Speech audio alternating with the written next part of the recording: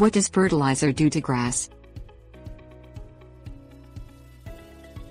Adding a fertilizer to your lawn will make the grass greener and stronger, as long as you apply the right amounts of the right kind at the right time. With so many complications, it may be helpful to understand what each component of lawn fertilizer does so you can better understand your overall lawn care needs.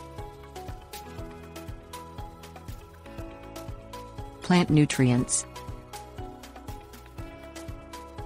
Plants require up to 18 nutrients in order to grow correctly, but only three of them nitrogen, phosphorus and potassium are used in quantities that might require supplements.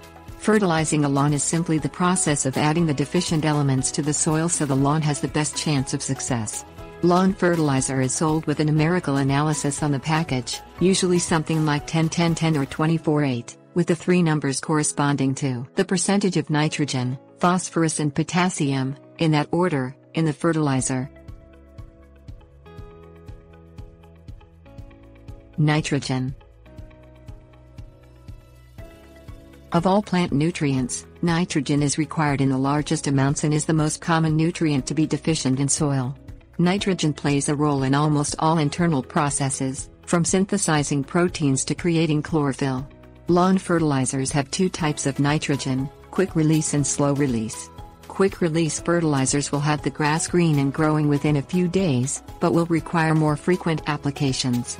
Slow release nitrogen will take a little longer to show effects, but will require less frequent applications and has a much lower chance of applying too much nitrogen.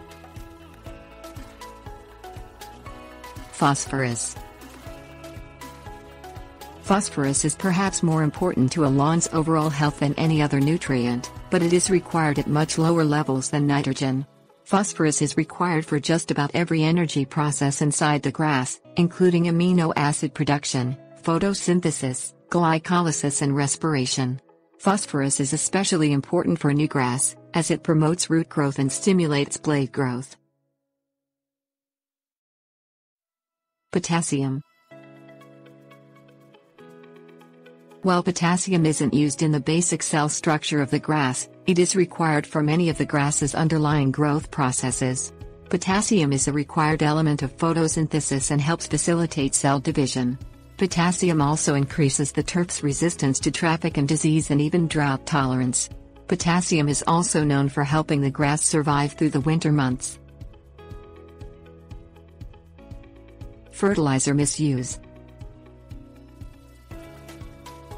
Since fertilizer is designed to supplement depleted or deficient soils, it is important to only use the right amount, and the right kind, of fertilizer.